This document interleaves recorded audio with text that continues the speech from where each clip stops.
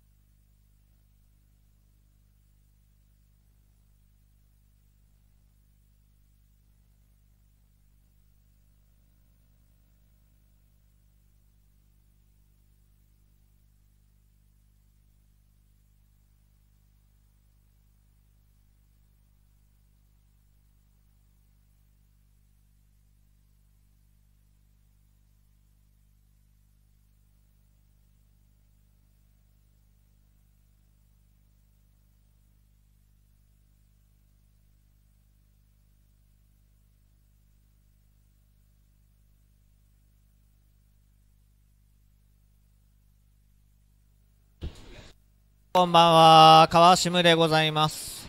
さあ、セロさんいらっしゃい。お疲れ様です。お疲れ様です。はい。ちょっと時節柄もありましてね。外出してる方も少ないと思うんですがうーん。我々は今週もデイトナ式に集まっております。そんなわけで今日は150回目。まあ、ここはね、あの、平和なんで、うん。そうですねまあ、マスクなしでも全然大丈夫ですよ。してますけどねまあ、歩いてる人はね、さっき歩いてきたんですけど、はい途中まで。えー、7割、6割、7割マスクですね、みんな。ノーマスクでフラフラしてる人はあんまりいないあんまりいないですね、やっぱね。さすがにうん。マスクしてない人は少数派そうあ、でね、さっきドラッグストア行ったらね、なんとマスクが買えました。あおめでとうございます普通に売ってましたね。じゃあもう慌ててお家に帰ってメルカリで転売はいあの残念なことにね、あの50枚入りじゃなくて7枚入りのちっちゃなやつ。まあそれだけでもねあ買えるだけしかも1人1点。まあそれ当然ですけどね。はいまあ、週末は皆さん多分ね引きこもって残念ながら僕が見たかった獣道もなんか無観客試合になっちゃうみたいでああ、そうなんですか。はいまあまあまあ。格ゲーのイベントもなんか結構中止になっそうたりですね。してますがまあとりあえず本日式の細道行ってみましょうはーい。で最初の試合は義王さんと川島さんですねはい。今日は普通のいつもの細道ルールです。そうですね細道ルールで行ってみたいと思いますはい。じゃあ川島龍対義王剣ですね 1P2P じゃんけんは終わってますでしょうかはいじゃあ第150回式の細道行ってみましょう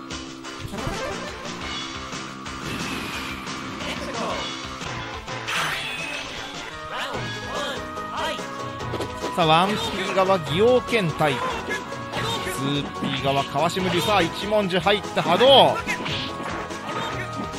体力半分奪って球の打ち合い。さあさあ踏んでしまう。さあアントビ風から投げに行ったが勝利で切り返す。さあきっちり落として重ね中足食らってしまう。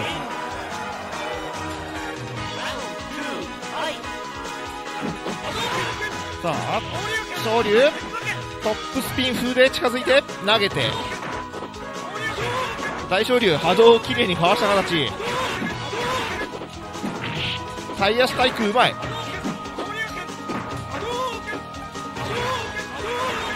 あ龍側はおっと何か化けたが熱波はお釣りが安く済む。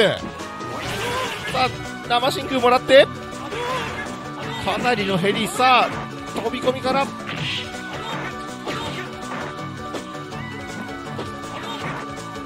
あ一発圏内なので龍もうかつな行動は取りにくいが飛びが通ってラウンド取り返す。さあ3ラウンド目。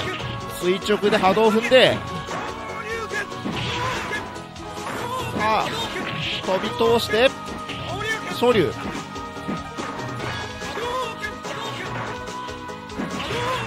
さあファイヤーで焦がして。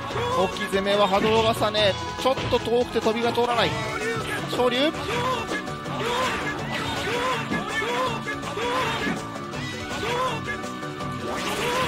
空対空4ヒット。あ3ヒットでした。波動重ねで勝ったのは川島龍。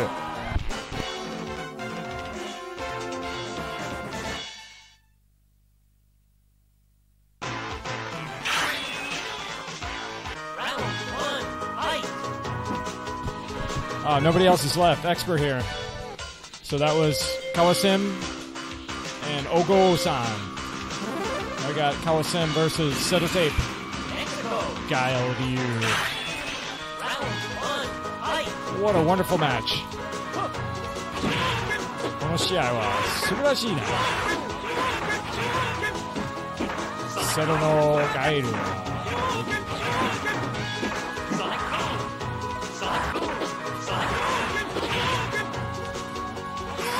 Jim.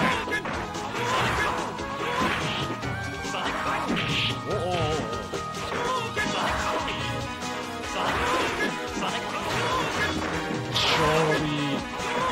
Baraka barely in time.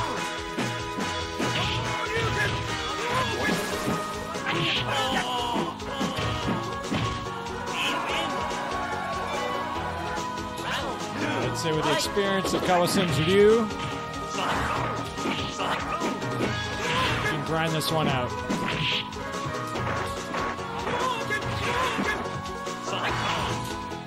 I like the jumping roundhouses.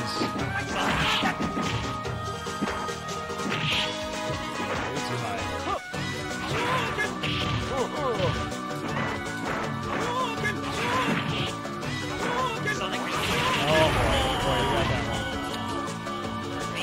that. All right, next up, Haku Kawasim. Back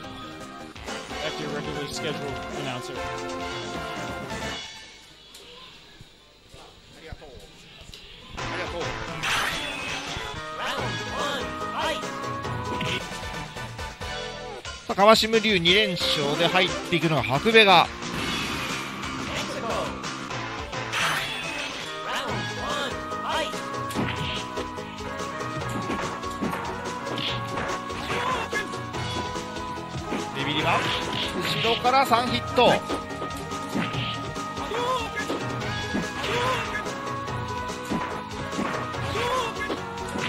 あ壁端どこまで我慢できるか。さあ元逆まで運んで。さ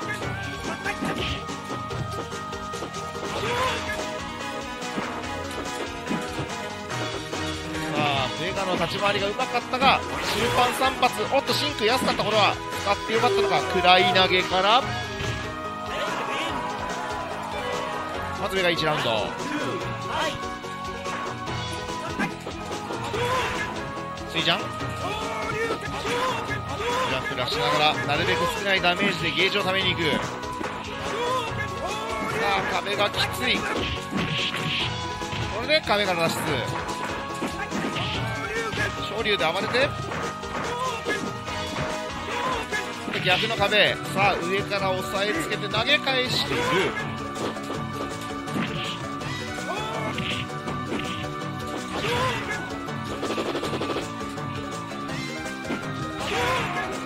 ファイヤー波動拳。さあ竜がラウンド取り返す。波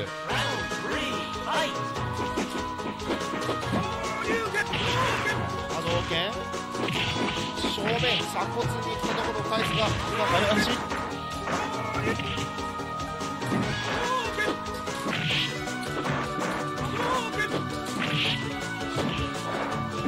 おいクリホーバーちょっと早かったか。さあ波動は踏まずに。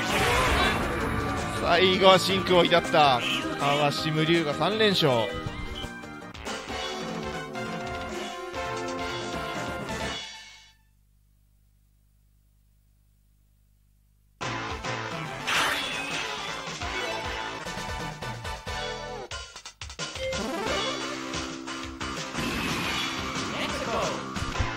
でこれが4人そうですね!金子チュンリー飛び込みから昇竜かなり痛い。初吹きから昇竜さあ。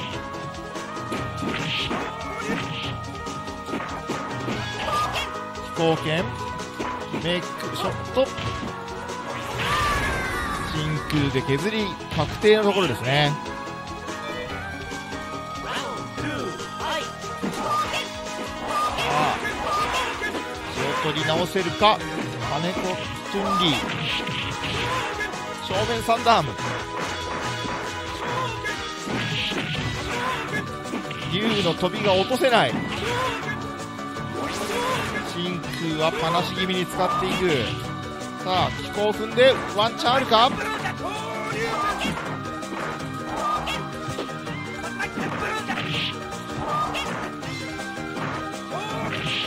さあ投げ圏内だぞ。相打ちで。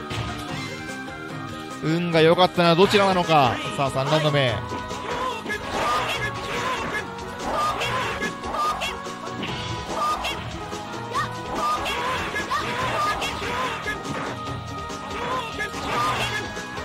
あお互いゲージをためにいっているがファイヤー三段痛すぎる。戦列まとも。おまけもきっちりに当てておっと大昇龍打っている。次の大昇龍はいらなかった。この前の大昇龍は天才かと思ったんですけどね、あ、どうせ垂直するんだろう大昇龍。たまにやる人いますね。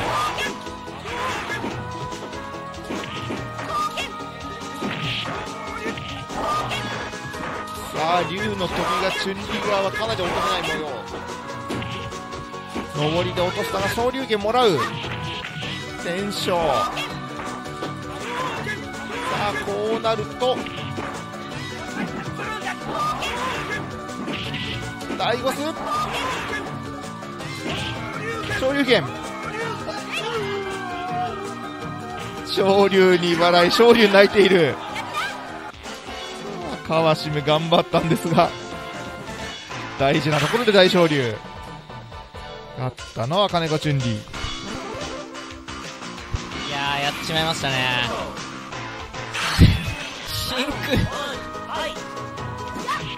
やーちょっとあのたまにやってる人の動画見てああ何やってんだよとか思いますけどあの気持ちちょっと分かりました。いい大昇竜もあったんですけどね いやあれもあのあれも割と？あそうですね。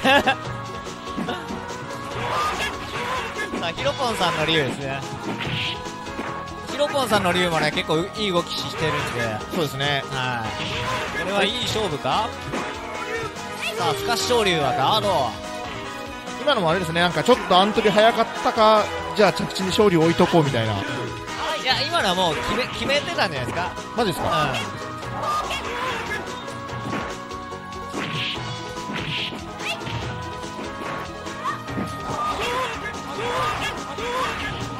あチュンリーが猛威を振るってしまうのか。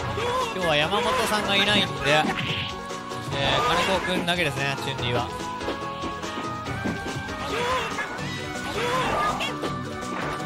ああ前に歩く。あさあテンション。さあ前に行く。これはもう人類平等に。あーあの距離でパナしていくさすがにもうちょっと近づいて投げての高かと思ったらかなりのところから。そうですね。あ押し返したかった。ですねさあ次はエクスパーさんですね。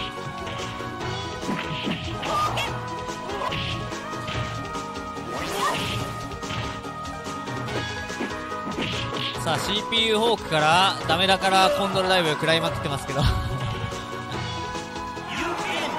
さあエクスパーが早速50円を飲まれる。さ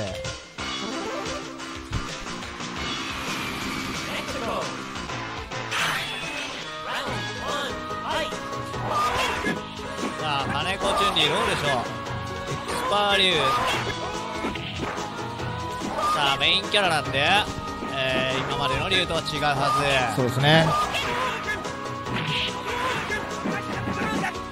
さあの独特のムーブ。竜巻が今中かな中竜巻かな起き上がり相手の上を越えていくと まあテンションを出したらば裏から背中蹴れるみたいな。あー今大昇竜タッチパン対空うまいですね。バックジャンプ。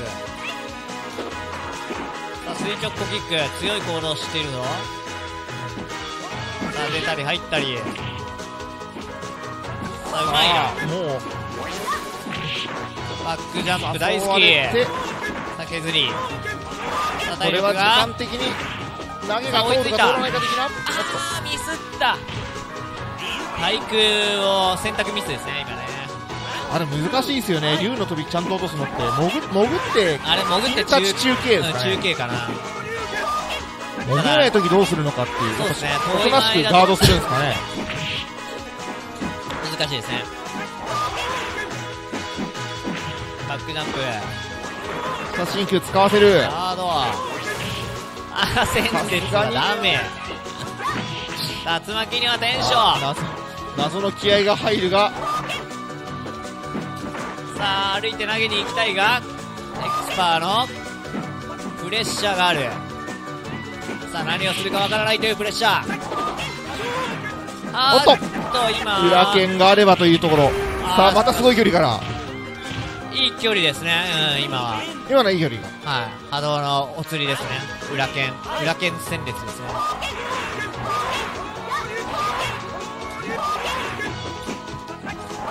さああの距離だとエクスパーバックジャンプしていきますね。さあバックジャンプ台形飛んでいく。中継は竜巻でごちゃらせられる。シンクは削りで使うさあ画面端。さあ画面端だと思いきやエクスパ下がっていく。さあ前段ヒット。さあ体力追いつくぞ。8ヒットかな。おっと。投げでショート。さあ間違えている。あーっと最後。投げしゃたのはがんで食らっていたので。エクスパ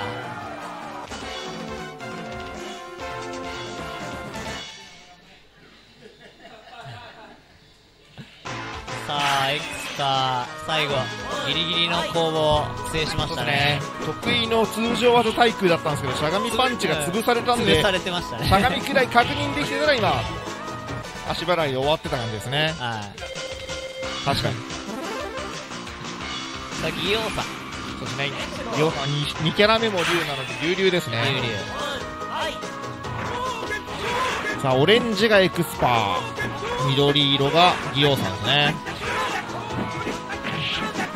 竜巻。鎖骨中ゴスシンクこれは完全にエクスパーモード。そうですね。アピールの空達も入れて。開幕ファイヤー。鎖骨空振り中足。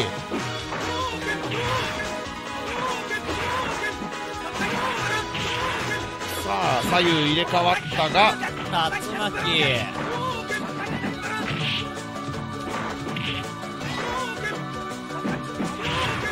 の？さあ真空ガールが。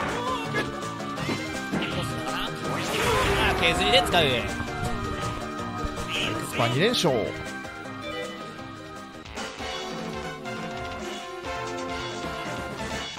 さあ次は、えー、セロテープさんの2周目ですね。さあ2キャラ目はさすがにギエフ来ましたねギエフセロテープザンギエフ対エクスパリューさあエクスパは2連勝中。さあ龍ザンギさあいい戦いを見せてほしい。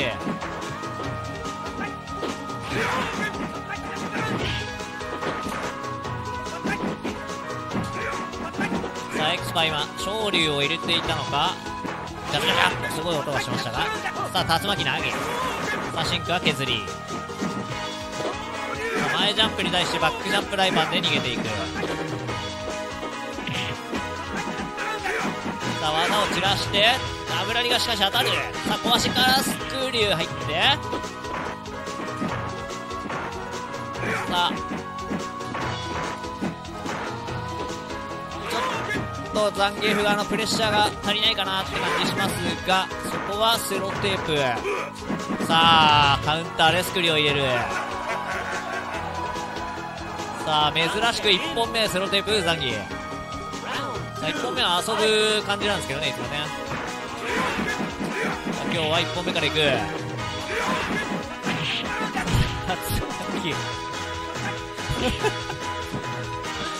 さあぴょんぴょんぴょんぴょん。さあエクスパームーブが炸裂。バックジャンプだいけ。さあセロテープさんが困惑している。ここはコンバンで落としたが。昇竜拳あーっと当たった。さあここは。アトミックスープレックスにならなかったですね。フライングパワーボムになっちゃいました。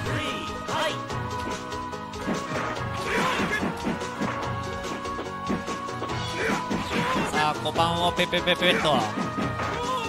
さあザンギ側はあれ影縫いされて、えー後ろにちょっと下がりづらくなるんで距離調整がちょっと面倒くさくなります。さあここはスクリューにキック。さあ画面端。さあ前ジャンプだいけ。さあ最後は高めの大パン腹で飛んでいって。エクスパーね昇竜入れてたのかな。最後相打ちになってしまいましたね。あれ最後ね昇竜拳だとしても、えー高めで昇竜が当たる位置だと相打ちで死んでました。さあ続いてはハク君。さあキャラはキャミーですね。さあザンギ殺しのキャミー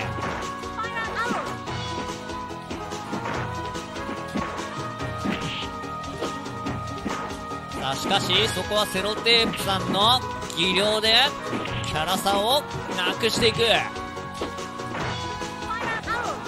さあこれねキャミがそう簡単ではないんでね。まあ、技を当てやすいのはキャミー側なんですが、えー、相打ちを取られると面倒くさい。さあなんとフフライングカモムあれが予想外でしたね。さあ開幕。さあこれはキャノンスパイク。あれがねお釣りが何もないですね。残機がね。削り削り一方ですね。あのブランカのローリングうわっつってあれでお釣りがないのと一緒で。これも何もないですね。さあこれは一方的な試合。さあしかし大足を差し返して。さああるのか？セロテープ。さあきついんだけどあ大大が入ってああ最後は。さあハックンヒヤヒヤでしたけど最後出しましたね。あの距離だと多分しゃがみ中足から下がりダブラリとかでもしかしたら一歩勝ちする可能性もあったんですがそこはセロさん側がね。さあ画面味はやばい。これはやばいぞ。さあシャカシャカシャカ。さあこれは終わりですね。お疲れ様でした。おい次も俺じゃねえかよ。俺も残儀なんです。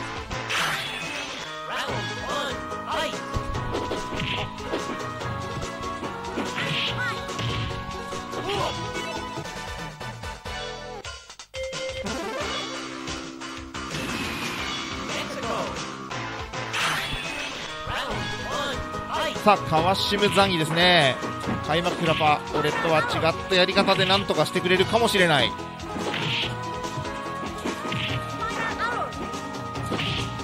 相打ち。さあ上が取って。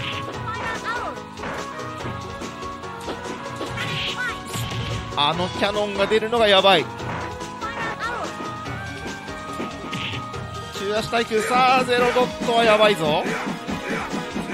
とりあえずゲージを貯めてみたがスパイラル届いてしまって。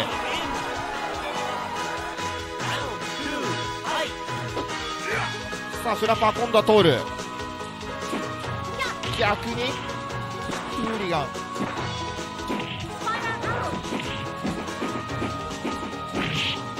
相打ちキャノン。さあ今のはかなり思い切ったキャノン。スパイラル。壁端がきついが川島慌てない。さあキャノンあれが出るのがきついんです。最後は歩き投げ。そしてカラキャンカラ連キャンジャンプしてみたり技のスカリに飛んでるんですがキャノンが間に合ってるのがやばい。いやー中足早いわ。ね。足払いの空振りにドンピシャで飛んでもまだキャノン間に合うみたいな。さあ。あれ相打ちしかないですね大足でね、まあ、タッチ中継がねちょっと前かってるらしいですが。そうですね。ただキャミーの体もちっちゃいんでそうあ結と歩きが速い。からね。そうですね。全然当たんないんですよ。さあ試合は 1P 側ヒロポンバイソン。キ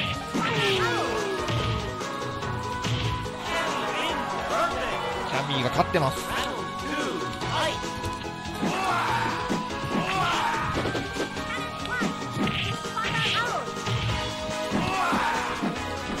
さあストレートで裏に逃げましたけどね。さあここは打ちで。あージャンプ台系長いんですあの技。さあいい勝負。一発圏内。あここはいい距離で当たってしまう。何かを出したところにちょうどバイソンがスパコーンああいう思い切りの良さも対戦には必要ですねね。やっぱバイソンはねオアーがね速いんでね。オアーをもう押し付けていく戦い方じゃないと。厳しいんですよね。あー今のお釣りがありそうだったが。逃しているなここはスパコ。ンさあハクキャミ3連勝。スピンドライブスマッシャーでしょ？覚えた？覚えたから。さて3連勝で続いて。金子くんがなんだろうか？さあ金 J ですね。金子 DJ さあ金子くんの DJ もうそんなにやり込んではいないですがただキャラ的にはキャミー側がかなりきついはず。さあなんか置き攻めで死んでいる。なんだこれと。さあ DJ はエアスラが打てないと結構有利には進めないかな。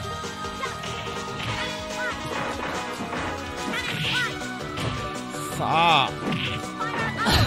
これはもうキャラ性の。ひどい これ。EP でしたね。何もできずに。はいエクスパーさんの竜2周目さあ最後のプレイヤー。ね。これ多分このままいくとこれあれですね。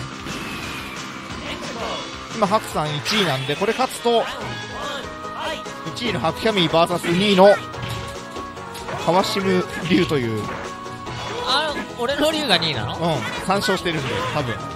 あらそう。いやここからでもねエクスパ竜がね分かんないね。さあお中継。乗り。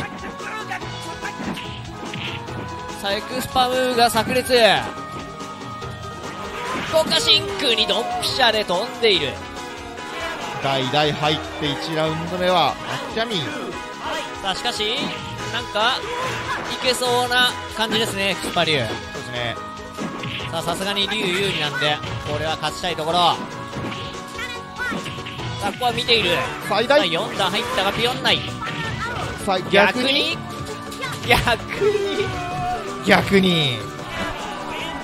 というわけでこれ全員終わったんで1位ハッキャミー2位川島龍。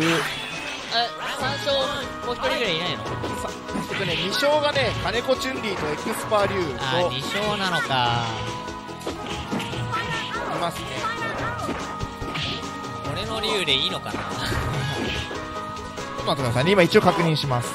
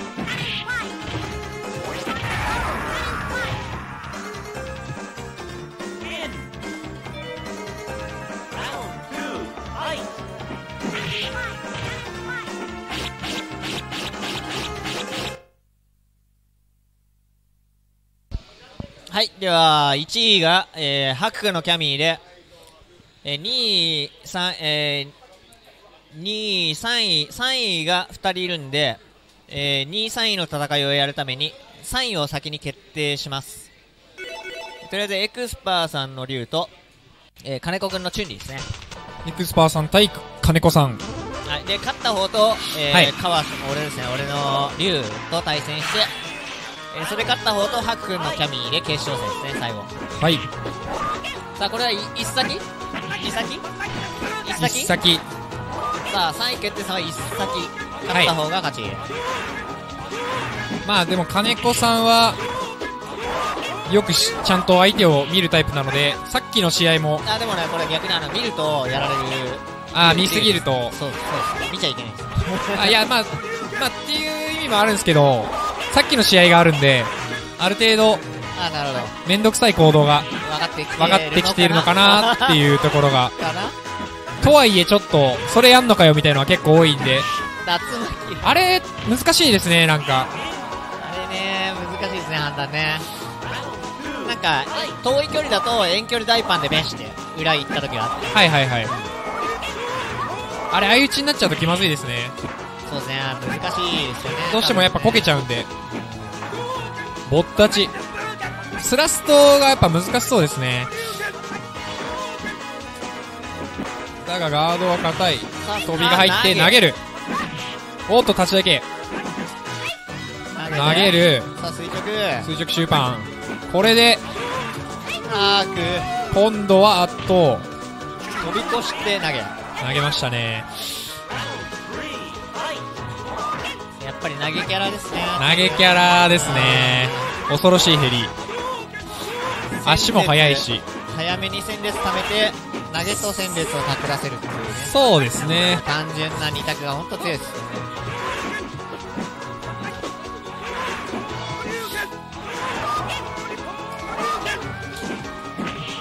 おっと、弦が入って、暴れたが投げて、投げたのは投げられるエクスパあ、今なんか、戦列エリサっぽいっやってすね。ましたね、多分ね。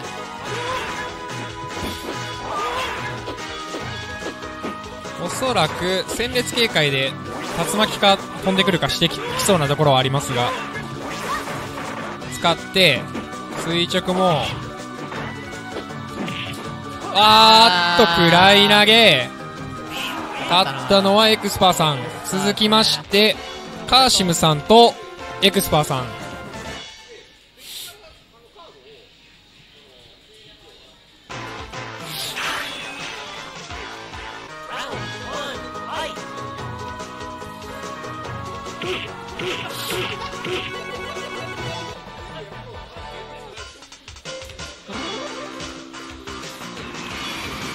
ここで、リュウリュウ。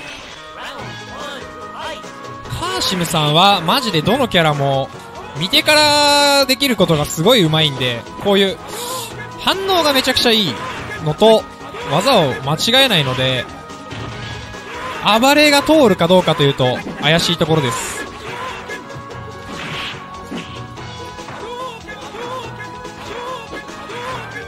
ただ、小高さん曰く、カーシムさんには自爆スイッチがついているので、昇竜出る。ちょっと高かったか。おっと、食らってしまう。多分昇竜入力してたっぽいですね。だが、真空があるので、まだ一発は、ちょっと遠いか遠かった。おっと、中足。まず1ラウンド取ったのはエクスパーさん。下がりますね。下がりながら溜めていく。ここで打つ。意外と中足をうまいこと置いてきますね。ちょっとやりにくそうだが、カーシムさんもために入って、中足、あ、シンク使って、大足、確定。確定じゃない。間違えた。おっと、ファイヤーまでしっかり入れて、小足波動あーっと、今の歩き昇竜入力してたか食らってしまう。あ純潔ですね。純潔は右先。さあ先へ。ここで、1ラウンド払って川島さんがちょっと読めてきたらいいんですが、そうね。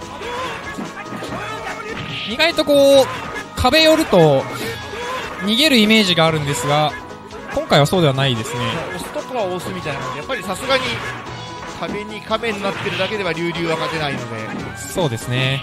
お、意外とこう、なんか、中足が嫌なところで置いてありますね。嫌なところで飛んでくる、やりづらそうだ。さっきの感じだと、ガードが固めで、微妙な距離で中足を振ってくるでしょう。体力リードと時間のないのをうまく利用中ゴス渋い。今の逃げはちょっとうまいが今度は取り返おっしにいかないけない。ダイゴスにシンクを入れようとしたが先に波動が飛んできていた。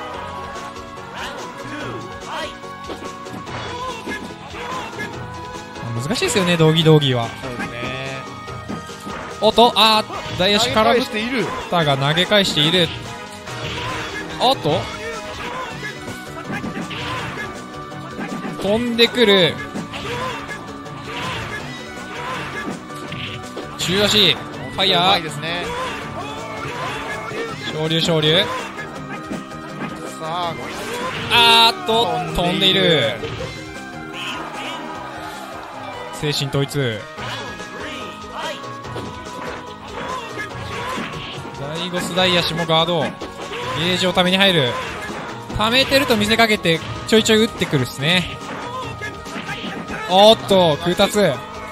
お大勝利が漏れて、この川島大勝利の漏れが多め多めだ。だが3段入ったので痛いぞ。おっと、これで真空でピオル。これで1対1。川島取り返す取り返しました。ここで、11。カーシムさんは、3段、しっかりファイヤーで、決めてきますね。まあ、結構さっきから試合の展開は似ている感じですかね。開幕、まあ、すぐバックジャンプするわけではないんですが、下がりつつ、溜めながらも、ちょっと地味に打ってくる感じが。この場合はやっぱ押してって、被弾を少なめに押していけば、後々有利になれるかなっていう感じは。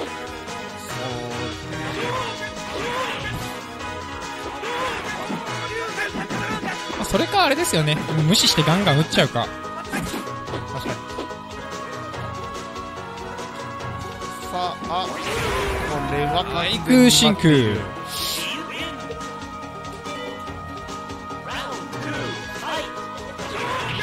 これは、踏んでしまう。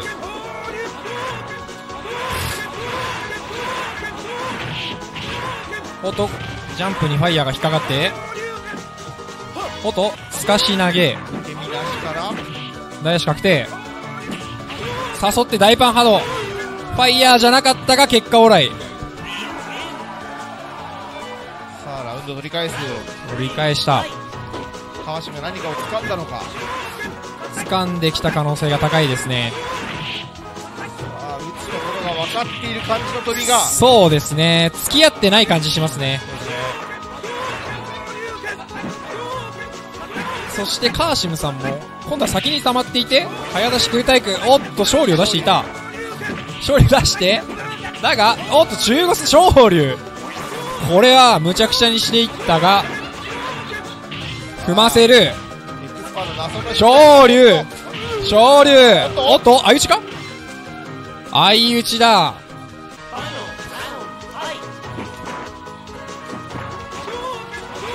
今のはダブル KO はちょっとエクスパーが美味しかったかそうですね。昇竜小足だやし踏まない。ちょっと、玉よけの昇竜で引っかかってる感じがしますね。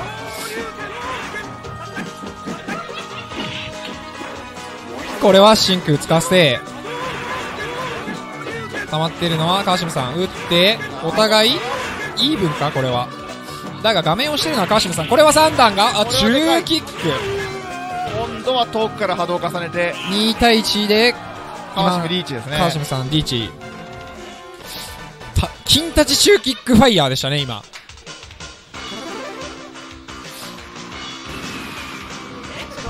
多分しゃがみ中継のあれだと思いますけど、まあ珍しいですけど、繋がりますからね。はいはいはい。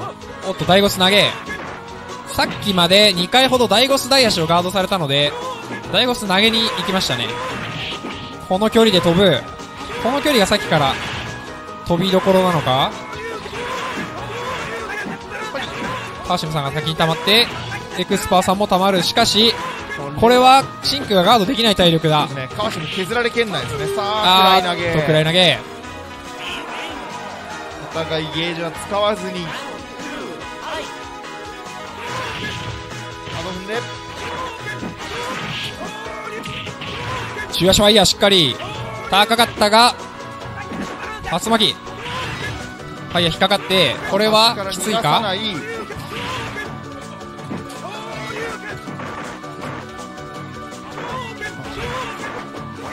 真空中ゴス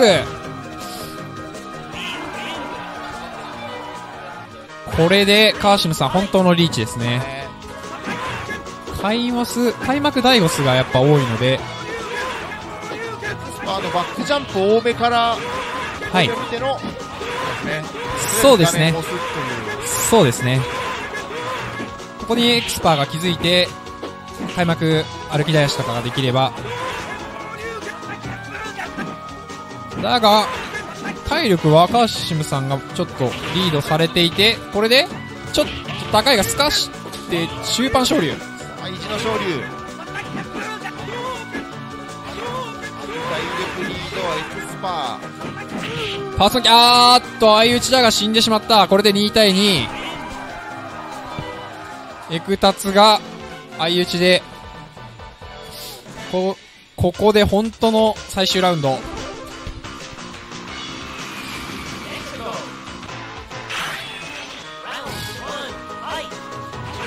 開幕あれですね本職じゃないのに。ここまでいい試合ができるのは。そうですね。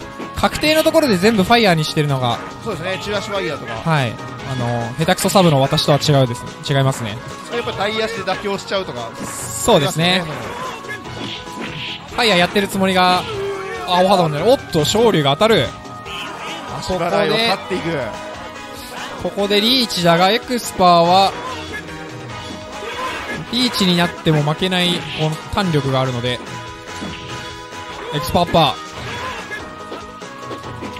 ー。中足おっと竜巻相打ち。ちょっとエクスパー美味しいか？チャージ完了。おっとこれは引っかかってしまう。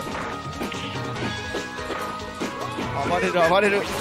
おーっとあーっとこれは暗転でそうですね。暗転でちょっとやりにくかった感じだが。だから受け身取れてたので。いやーこれはエクスはもう危ないぞ。飛んでくる。風化性逃げて。が好きか？おっとこれは？真空が出る。踏む。踏んで。波動か真空からさあ削りあエクスパー竜巻がアッパーで。勝ったのは川島さん。さあ最後の最後でもつれましたが勝ったのは川島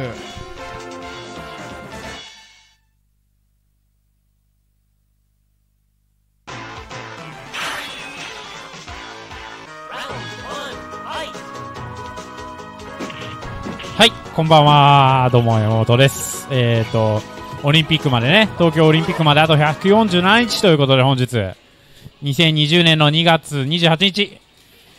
本日、2020年2月の最後の日ですね。あー、ごめんなさい、最後の金曜日ですね。失礼しました。で、決勝となります。決勝は、えー、1P 側が、えー、川島さんの竜、2P 側が白さんのキャミーと。さん1位通過なんでアドバンテージ1ついてます。そういうことですね。はい。最強キャミーが。台形長い。今当たんないと思ったのかな？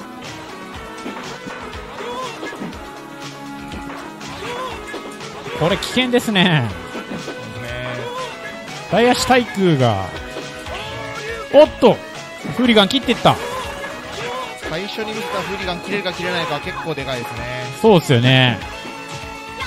裏落ちから投げる。飛び。しマルキャノンはガード。っかりね受け身取ってたんで減らなかったですね。このハックンのレバー前に入れるのやめない姿勢が本当に多分龍側からするとかなりプレッシャーになってると思うんですが、そうですね。画面押されますからね。あ最後も中足暴れですがキャノン出てたらキャミーの勝ちだった、そうですね歩きキャノン可能性ありますからね。ね、もうあそこまで来たら歩きキャノンか歩き投げしかないんで。さあおっとまちょっとネタっぽいやつですね。よくわからない感じでしたね。の後くぐっておっと。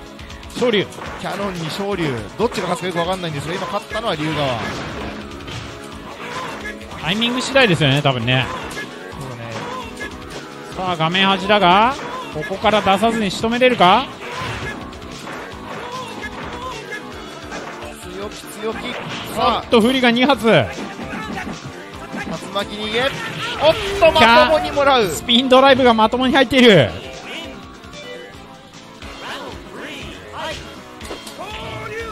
昇竜拳。キャノンスパイク出ているお、裏、竜巻で逃げた。あジャンプだけ届く逃げるとこキャノンジャンプを読んでいる。あれやられると何もできないですね。さあ、対空真空。逆に逃げてからのおっとファイヤー確定してさあ、残り1ドットあるか？ファイヤー削り。今のもね歩いてくるの見て速い反応で出してるんで多分ジャンプでも避けられない感じですねそうですね。いい、いい距離なんですよね。見ても間に合わないんですよね。さあ、えー、1試合目は歩いて川島さん画面見。ないで前飛んでればっていうところですがさすがにそれはそれで難しいフリガンアントビーお釣りなしだが裏回り、フリムキャッパフリガン。早いな、今ーの。正面あーっと、反応遅れた壊し壊し壊し中足と。今、イーブンですよね。さあ、1本取ったのは白さん。開幕フリガンは落としていく。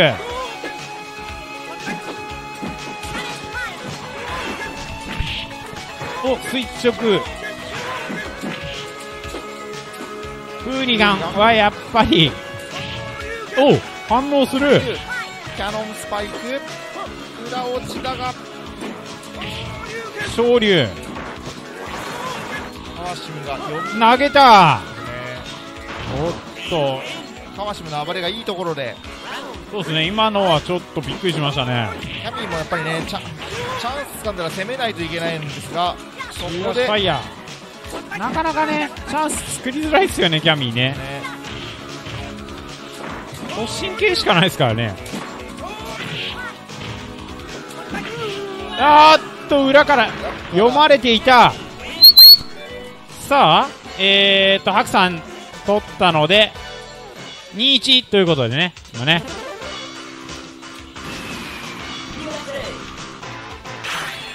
さあ、川島さんの竜、ここで巻き返せる、取り返せるか？おおかなり思い切っていますね。地味に差し合っていては多分このメインのキャミーには勝てないと踏んだのか。かなり思い切りのいいプレー。そうっすね、暴れてますね。地上昇竜地。からいきなりめくりに行ったりここもう信じて自分を信じて昇竜拳そうっすね。昇竜そうですねしかし、うまいとこ飛ばれた。しかし、勝利で切り返していく。もうもう暴れてます本当に暴れまくりですよね。地味に波動拳打って差し合ったら多分ず自利品で負けるというのがそうなんですよね。大事に行こう、大事に行こうとして失敗すると死にますからねそう。ですねさあ、この硬直はどうする？あーっと、あー対空出ている。今の勝ち中盤でしょう中盤でしょうね、音的に。さあ白キャミに正面おっと昇竜拳昇竜。早かっちょと早た。かったですね投げて投げ受け身受け身がある。投げ返す。さあおっと、後ろ落ち。昇竜拳。ダイゴス攻めましたね。踏ませて水ジャン踏ませる。おっと出なかった投げちょっと怪しかったが取り返した。さあ、両者2に最終ラウンドにもつれ込んだ。あー最終試合にもつれもつれ込んだ。さあ、さあかなりやりにいってますね。だいぶですね。おっとキャノン出る。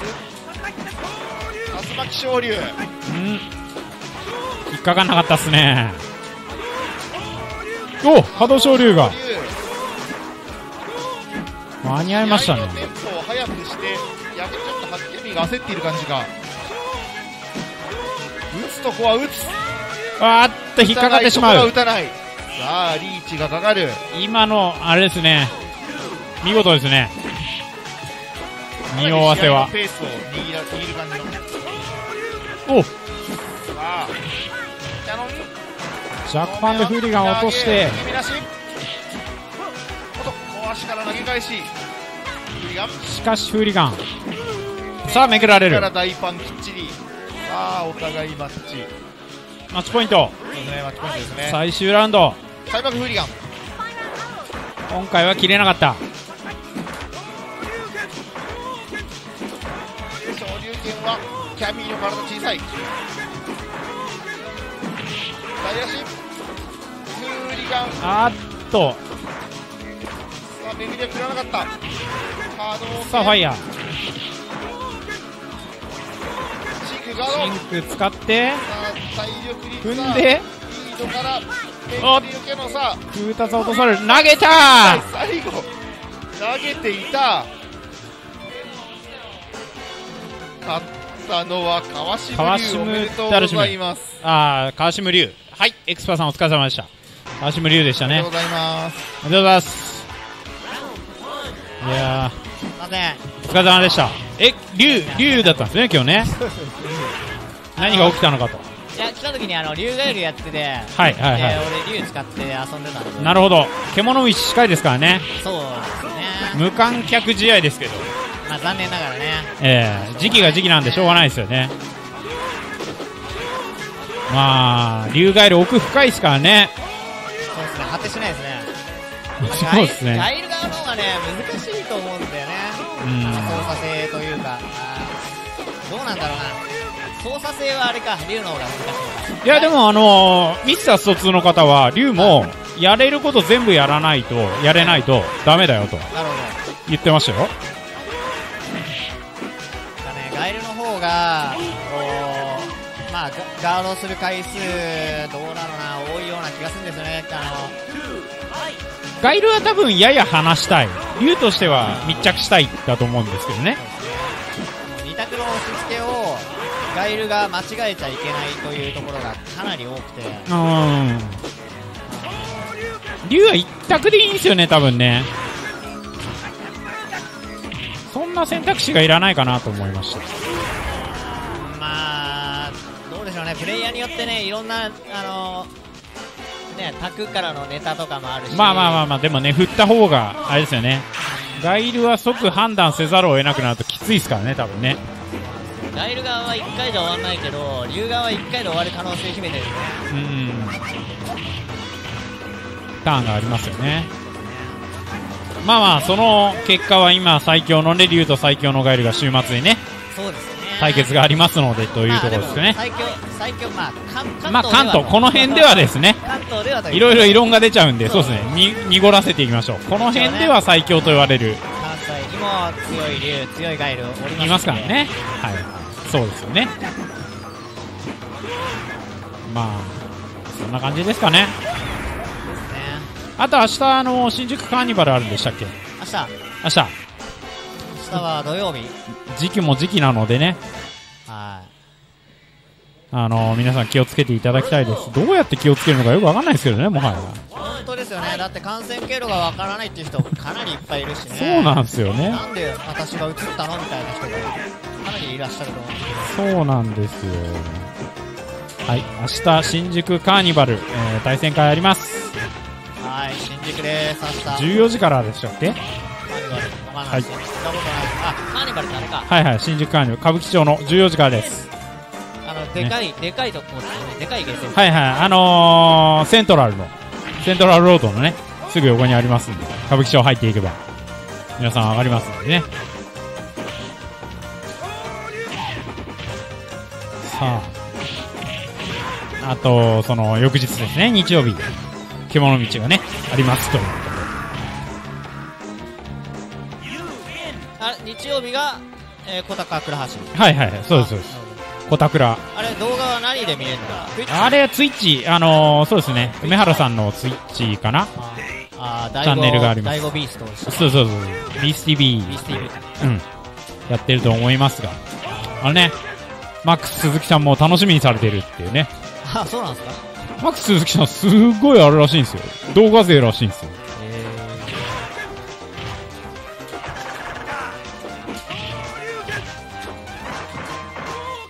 僕らもね、同じような感じで、もう家で配信を首を長くして見るしかないのかなというところではありますが、のじあいはね、えー、あ、配信はのじあい、のじあいじゃないよ。CPU 戦だ。垂れ流してるのは。っていうことですね。じゃあ、のじ合いやりますか。そうっすね。そんな感じで、はいちまちまと進めていかないと。今日時間は？時間はあと1時間ぐらいあります。お店はまだやってます。はい。はい。ちょっともう、いろいろとね、来週からいろんなことがあるんで、外へ出るの、出れるのも、あまり数が多くなくなる可能性もありますんでね。ね人によっては。結婚式だってね、ずらしてとか、はいはいそんは。ない人までいるみたいなんで、そうですね。あのー確定申告も、あのー締め切り伸びました。1ヶ月。えうん。ー、果たして1ヶ月ずらして、ね、はいどうなってんのかわかんないですけどね。はい。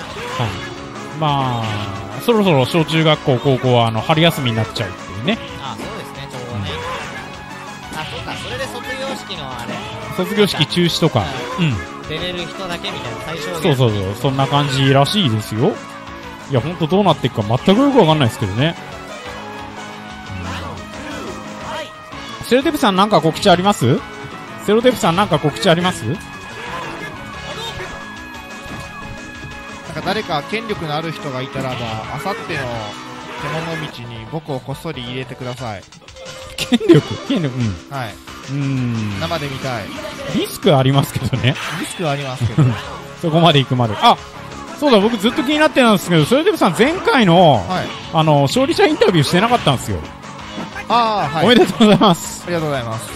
まあ別にあの、こんなにおめでたいこともなく、いや、前回2ラウンドとも強かったですね。セロテープさんの残芸力。こんなこともあります。ええいやいや、僕もずっと気になってて、あ、なるほど。夜も眠れなくて。そういえばインタビューしてなかったと。そうそうそう。重要なことを忘れてしまいました。まあ、まあ、今回、あれ、今日160回目ではないんですね。これ150ですね。150! はい。あ、なるほど、なるほど。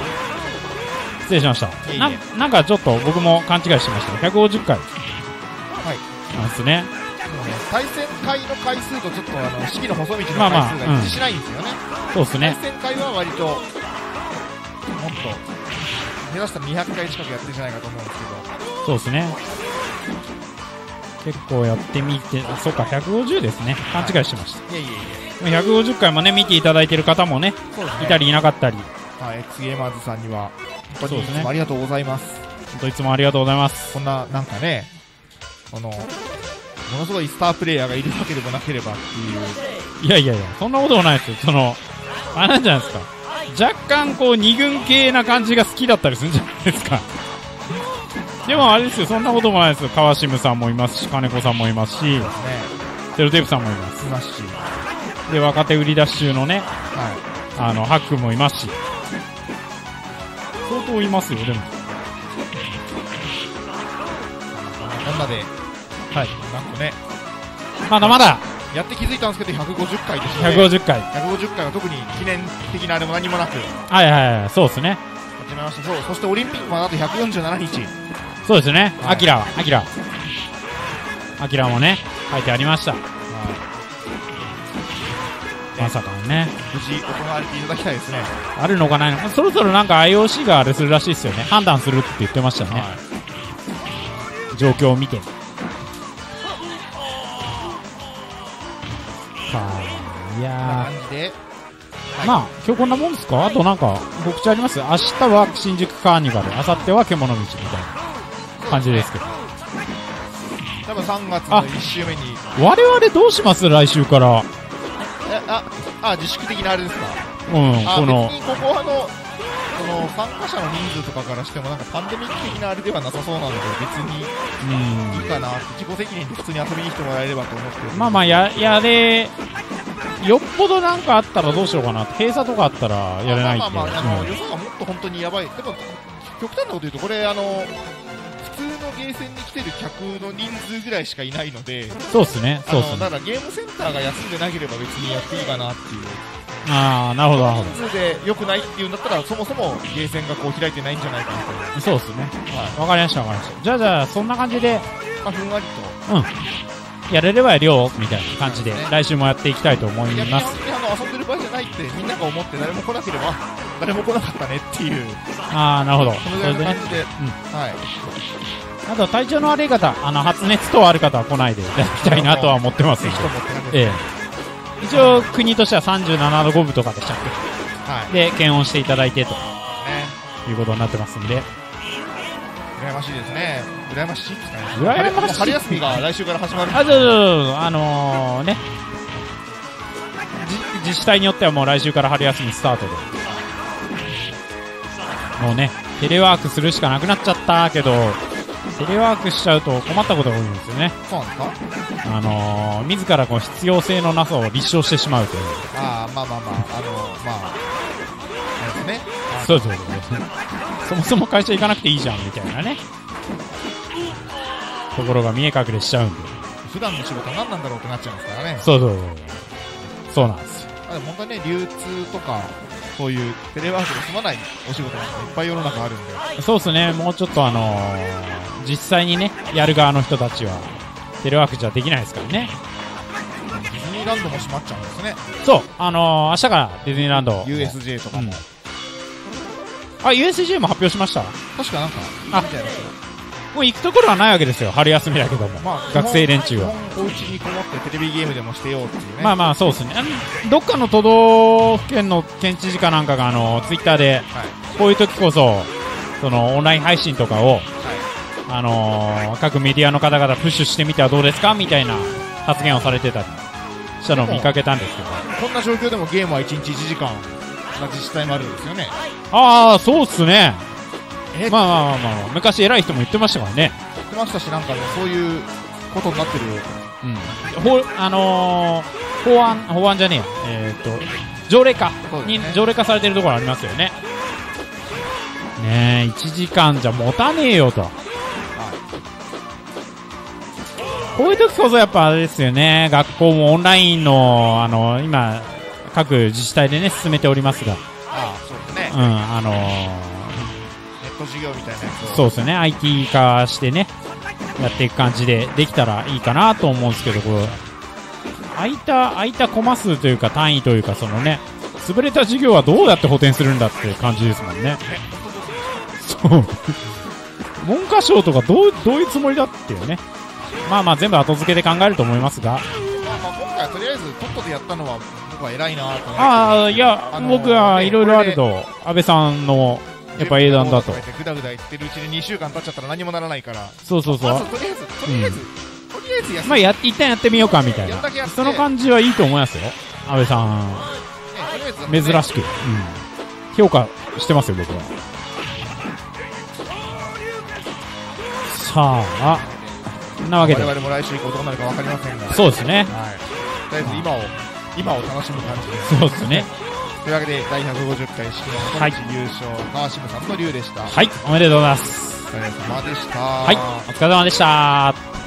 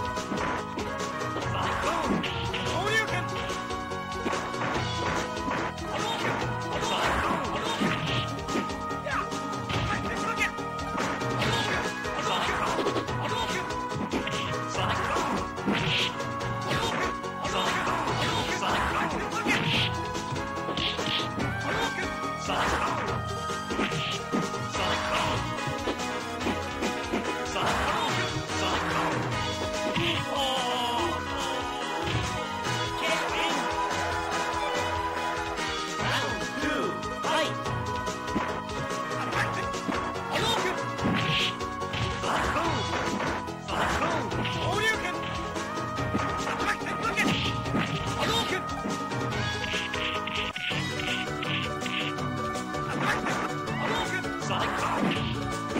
Psycho!